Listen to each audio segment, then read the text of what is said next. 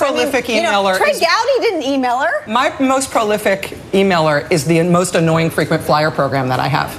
You know what I'm saying? Like, I get emails from the Nigerian prince. I get do emails from people I went to high school with. So you, you get emails from me, and I'm a creep. But none of us should be held accountable for that being an influence over a thought in a way that we're not allowed to dis- that we're not allowed to, to argue against. Lawrence O'Donnell. First of all, I, I know that same Nigerian. Prince. I do prince. He's too. a nice guy. He's very persuasive. Do you think he has all You've that been money? listening patiently. Well, the, the simple headline at the end of the first three hours is if this is all they have, they have nothing.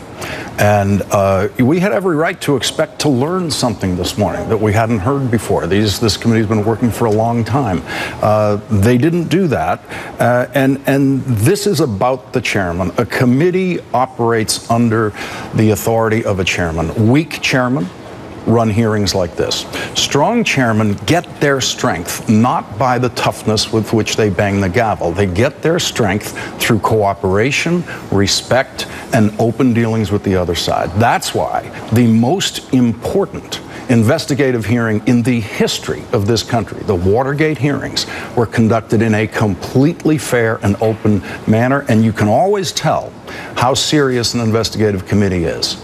If the members are asking the questions, it's not serious. The Watergate Committee, the special counsels asked virtually all the questions. Sam Dash, the Democratic counsel, became a star. Fred Thompson became a star, the Republican counsel. I showed an exchange last night that they had in the Watergate hearing where at the end of Fred Thompson's questioning, Sam Dash said, I just have a few questions because Mr. Thompson really did a fine job. I don't have to do that much. You, that's the way a real investigative committee hearing works. That's not what you're seeing here.